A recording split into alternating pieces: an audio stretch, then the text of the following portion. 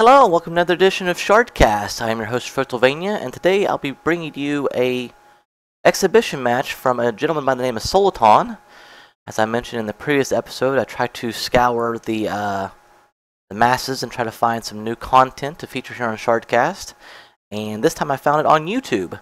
Normally I find my videos off the Twitch channel, but this time I was looking through the YouTube channels, found Solitaun, realized he does some some quality content and does a lot of content. So I want to go ahead and feature one of his matchups here on Shardcast. It's actually going to be a two episode edition for Solitaun. I'm going to feature his first matchup against Dayman here on episode 35, and the followed by episode 36 will feature another matchup by Solitaun. So if you haven't found his channel out yet, please visit the links below this video here. I'll have a link to his channel there. Make sure you subscribe, check out his content. But in the meantime, we'll get you out to episode 35 here. As I said before, his opponent's Dayman, who's playing a Mono Diamond Inspire deck, whereas Solitaun's going to be playing a Mono Sapphire Artifact deck. So we'll see how that's going to work out for him here, and we'll go ahead and get you out to the action. Unfortunately, because the way the video was cut, we will not see the coin flip here. But we will get you out there. Let's see here. Looks like Solitaun is playing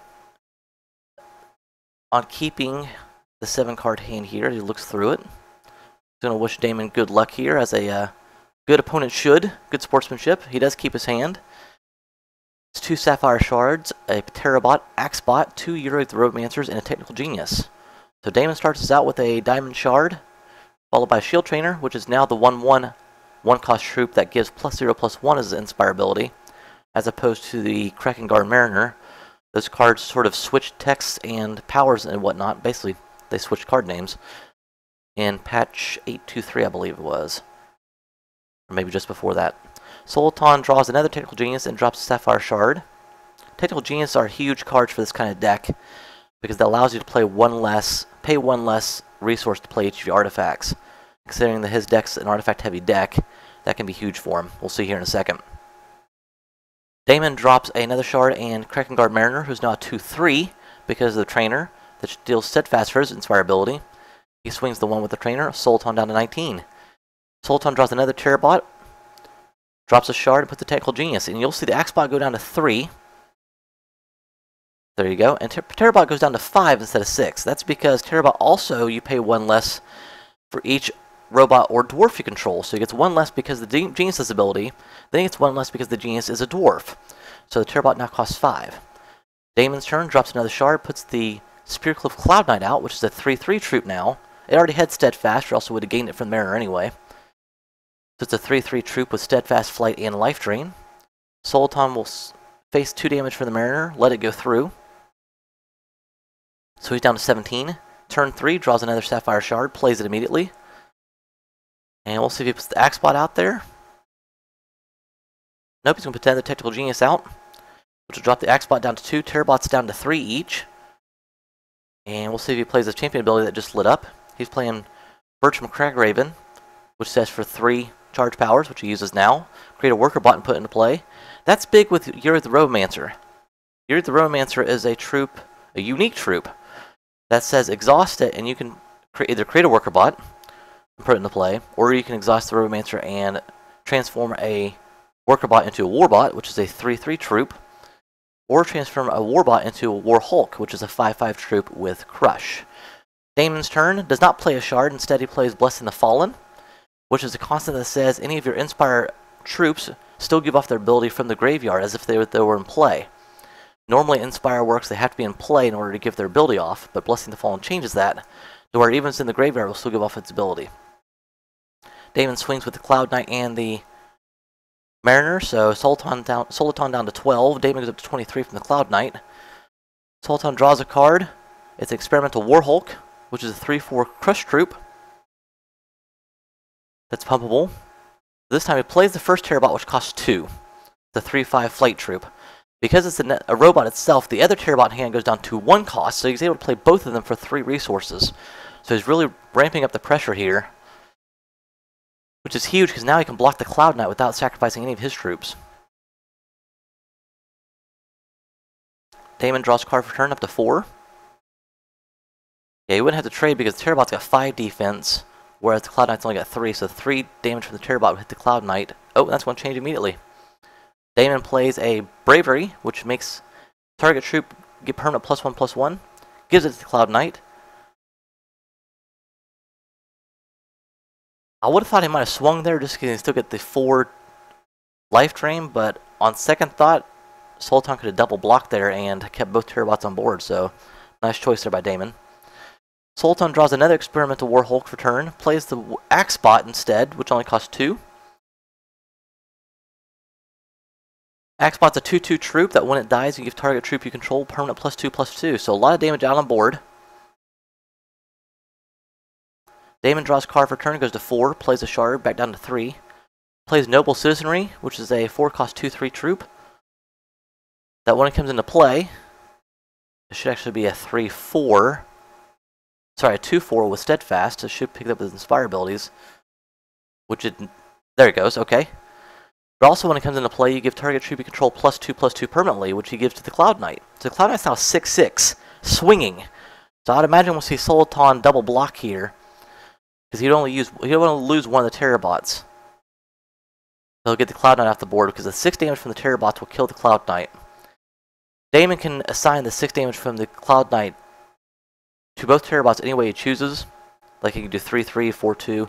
He'd definitely do 5-1 here, which he does. Only to make sure he gets one of the Terrabots off the board. So 1-1 trade. Dayman still gets the 6 health from the life drain, so he's up to 29. Solitaun's turn.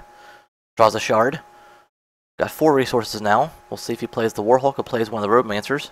He plays Warhulk, which again is a 3-4 pumpable crush creature. Or troop, I'm sorry. If you pay 2 resources, you can give it plus 1 plus 0 to on a turn. Solitaun will swing with the Terrabot, which can't be blocked because it has flight, and the 2-2 Axe Bot, which usually isn't blocked because then more often than not you lose a troop out of it, but you give plus two plus two somewhere else. So Dayman making my mistake playing too much Hearthstone.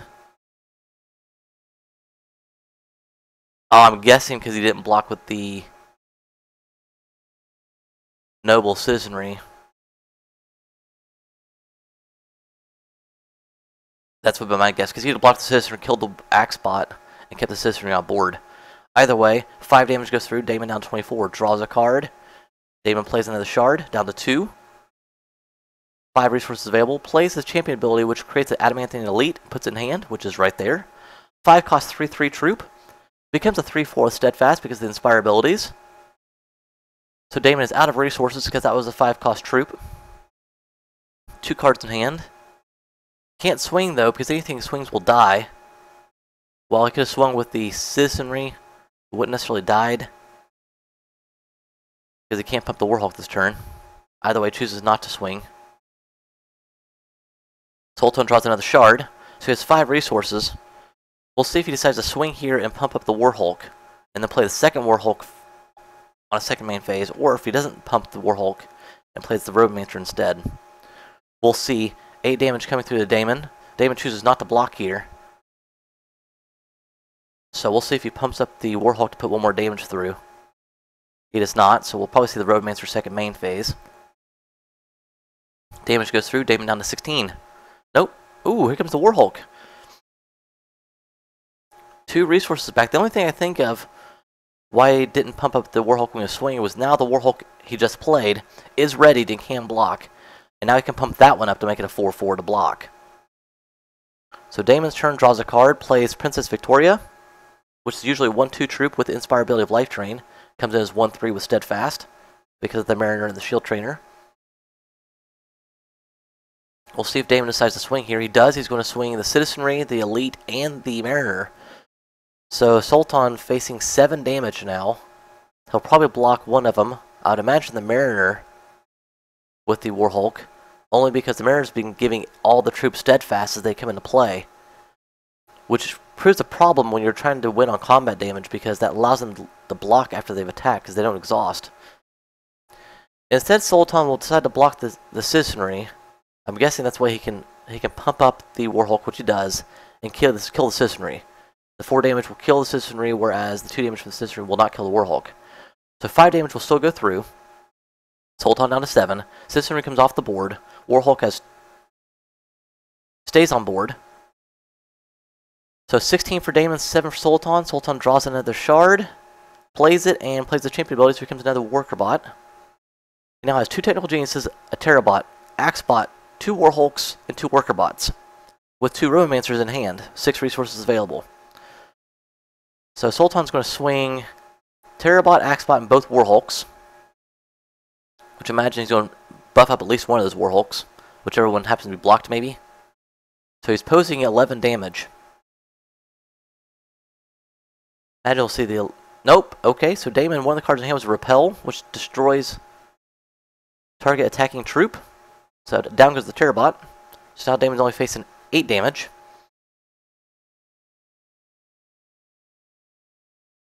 Dayman still hasn't had to clear blockers yet, so we'll wait to see if Solitaun's going to pump before or after blockers are declared.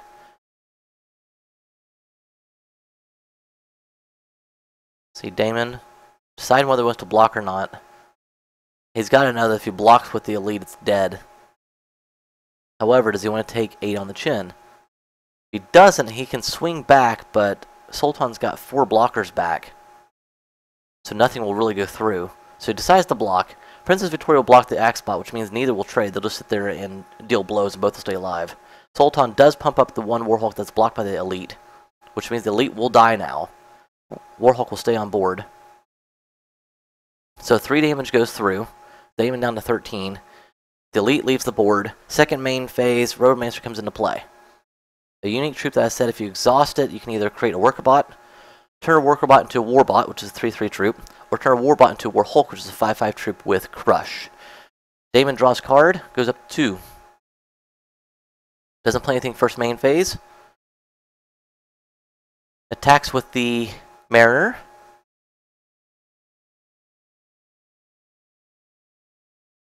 Interesting play. That now leaves him two blockers back. So Solitaun's going to chump block here with one of the worker bots. So down goes the worker bot. Solitaun will stay at 7. Second main phase. Dayman doesn't play anything, so interesting play here. He now only has two blockers back. Solitaun could really do some damage here. Plays Sapphire Shard draws. So, Solitaun's going to swing with both Warhulks and the Axebot. Because Robomancer is unique, he's probably not going to play the second Robomancer, which means he can deal, instead of 8 damage, 11 damage to Dayman if he wants to, by popping them up. Alright, so no blockers declared by Dayman. So let's see what Solitaun does here. I'd imagine he's going to pump... Okay, he's going to exhaust the Robomancer, turn the Worker Bot in play into a Warbot. So there you see it become 3-3. He has no other uses for his resources unless he's trying to bluff here, so I'm, I'm pumping up my Warhulks as much as I can to deal as much damage as I can. Nope, he only pumps it once, so that through goes 9. Uh-oh. 9 damage goes through, there goes Dayman down to 4, but unfortunately, I don't think he realized you, Yuri the Robomancer was unique. So, as he played that, the one already on board actually gets destroyed, so he go to the graveyard. I mean, I guess it gives him another blocker if he needs it. Dayman draws a card and doesn't do anything on his turn, so Solitaun will win by brute force here next turn. Draws another Robomancer. Brute force will go through because he can transform the Warbot into an Axebot with the Robomancer, which will be more crush damage. And yes, he does. So we'll have 5, 8, 11 with crush in itself will go through. He can only block 7 of us, so that will be game. So great game there by Solitaun. Excellent first uh, match here on Shardcast. It looks like that Dayman's deck would have been okay had the Cloud Knight got done, gone down as fast as it did. It looks like with the ability between the Technical Genius and the uh, Terrabot, getting those terror bots out that early is just it can really be a pain for a lot of players. So congratulations to um, for the win there. And again, if you haven't checked out any of his content, go to his YouTube channel, which I will be having a link right below this video. So make sure to check out that that channel, subscribe to it. And also make sure you subscribe to this channel, as well as follow me on Twitter. That way you can get notification anytime a new Shardcast comes on. And if you yourself would like to be featured on Shardcast, make sure you send me a line either through my channel or on Twitter, and I'll be sure to try to get you featured. But in the meantime, I appreciate you for hanging out with me today. And until next time, so long.